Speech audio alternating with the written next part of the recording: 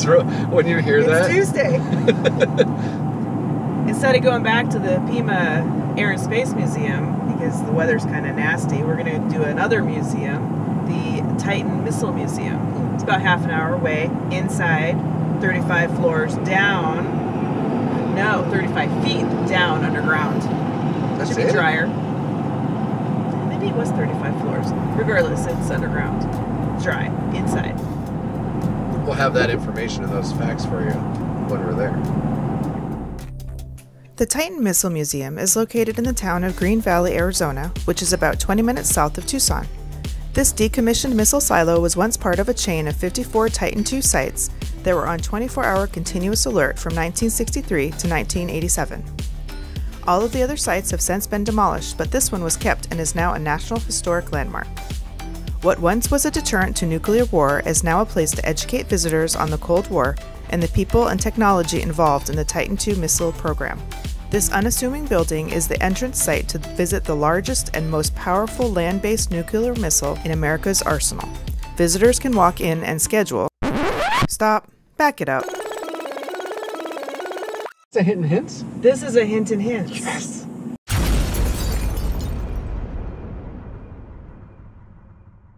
So we are at the Titan Missile Museum, Yeah. and we thought we could just show up and uh, hop on the 12 o'clock tour. Well, apparently you can't do that as easily because it's pretty busy. So Okay. you can go online and make reservations for your tour ahead of time. It's winter, so obviously there's a lot of folks that come down to the warmer weather, and so this is actually the busy season. And yeah, she panicked. Like, how many are in your party? Three. Uh, um. Well, I guess uh, we could get you in the 1:30. Okay. We Yeah. weren't stressed, but She was. she was.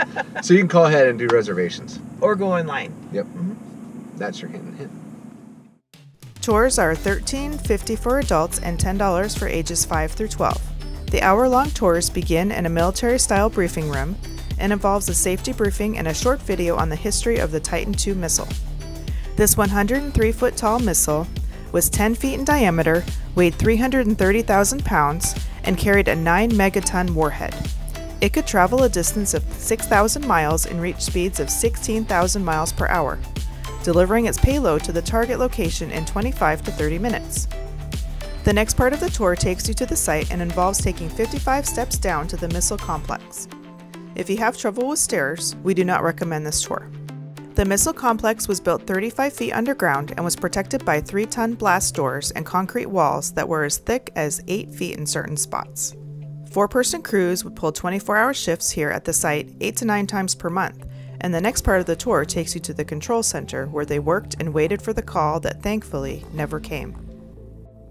The tour guides here are fantastic. They not only give you information, but really impart on you what life was like and what the responsibilities of the crew were like. You're in charge of the crew. You're in charge of maintenance people that may come here, security people that may come here. As a matter of fact, you're in charge of all these VIPs we have here today, coincidentally.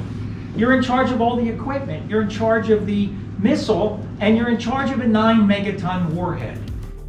After giving you the background on the crew and equipment, they then walk you through a launch order. It's been a while, but you've been trying to get at that coffee sitting on your desk and you just haven't had a chance. A lot of stuff's going on. First of all, there's no carpet, no sound attenuating uh, panels. It's very noisy. Not only is this equipment noisy, the no- equipment below is noisy. These squawk boxes are going off literally 10, 20, 30 times a day. There are messages that are coming through that may, might be important, might not be, but as you go for your coffee, this happens.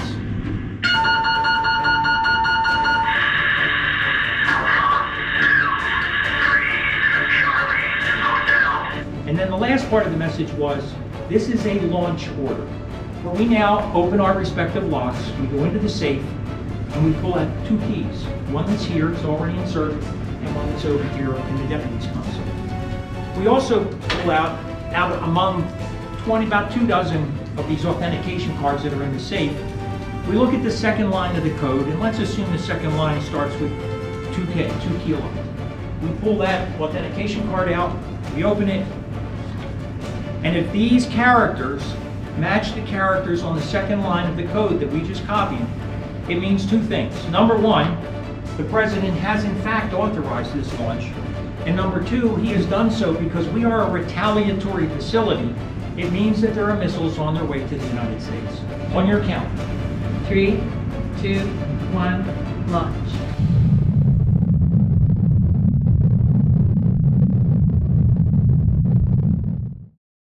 58 seconds, 58 seconds from the time we turn those keys to the time our missile is headed for target 2. It's going to take about 30, 35 minutes, and target 2 will no longer exist on the face of the planet. And You did that. You did it with some help.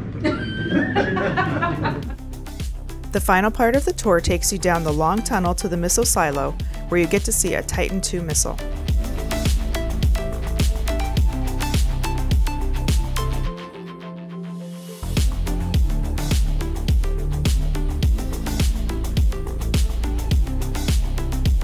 You're free to walk around the above ground area after the tour. There is a lot to see in the area, and looking down at the Titan II from above is quite an experience. The area is also a great place for kids to finish up a little assignment that the museum offers them. Corbin's working on his junior missileer badge. He's the only person that could say it's time to order the missiles. The president. All right.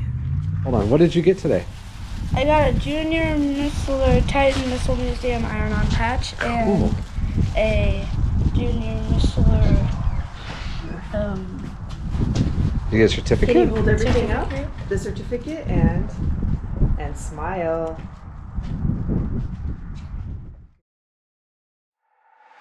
Tucson would be our last stop in Arizona as we headed west, and we couldn't leave without visiting the national park that is built around the universal symbol of the West, the saguaro cactus.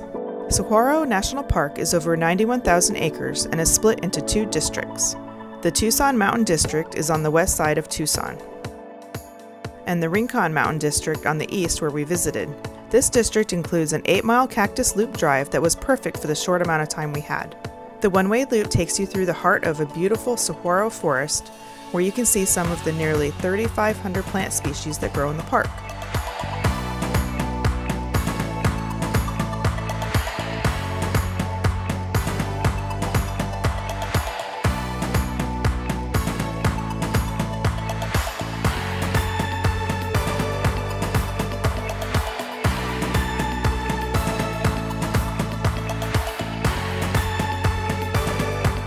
And of course, you see some amazing saguaro.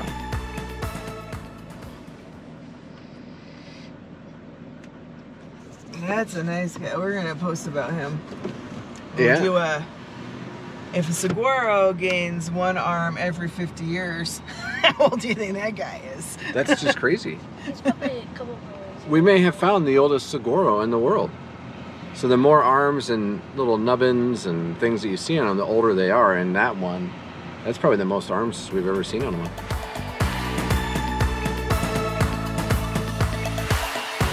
There are also a lot of stops along the loop. If you're looking for an easy walk with opportunities to learn more about the park, then we recommend the Desert Ecology Trail. The quarter mile paved trail gives you the chance to learn more about the plants and animals that live here. And we learned a lot.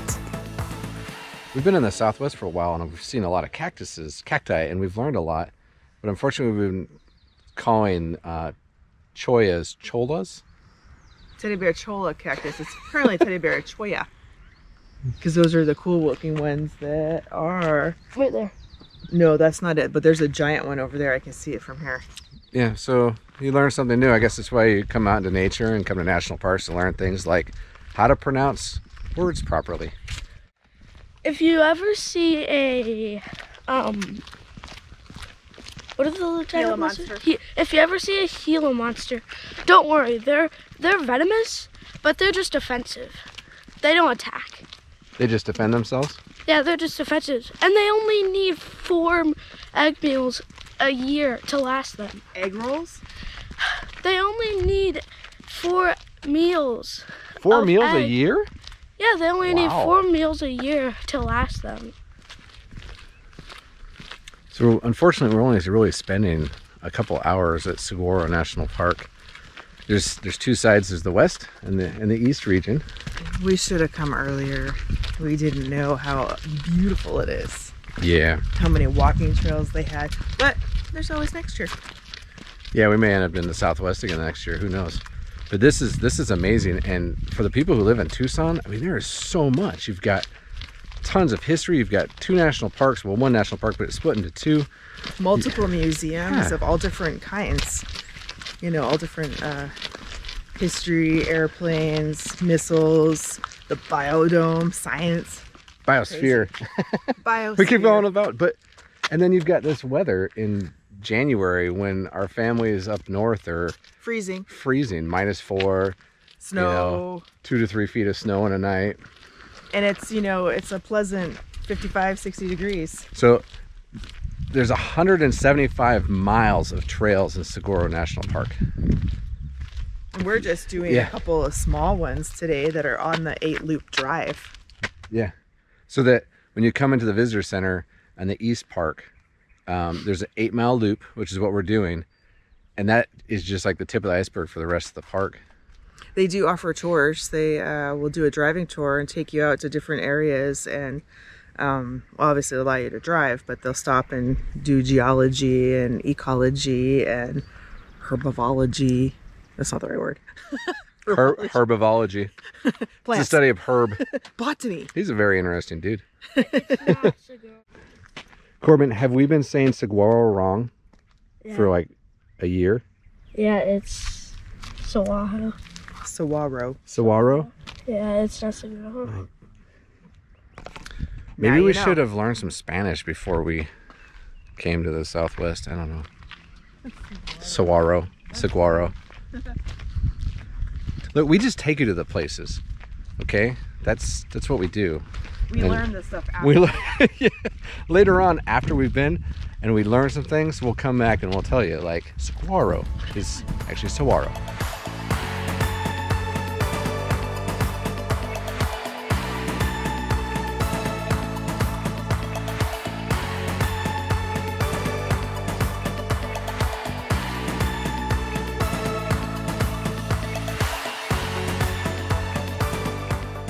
If you're looking for a longer hike, the loop gives you two access points to the Cactus Forest Trail.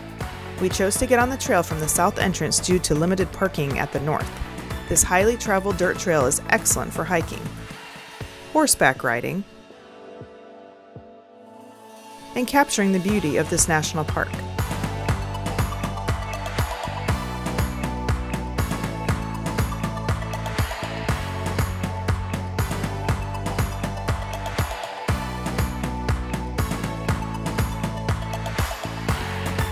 We couldn't think of a better place to end our time in Arizona. Join us next week as we visit 29 Palms, seek out adventure, explore Joshua Tree National Park, take a trip back in history, and visit a very cool tank museum. Thank you for watching. We'd love to share our journey with you. So hit that subscribe button and also the notification bell so you know when a new video is uploaded. And don't forget to leave your comments down below and hit the like button.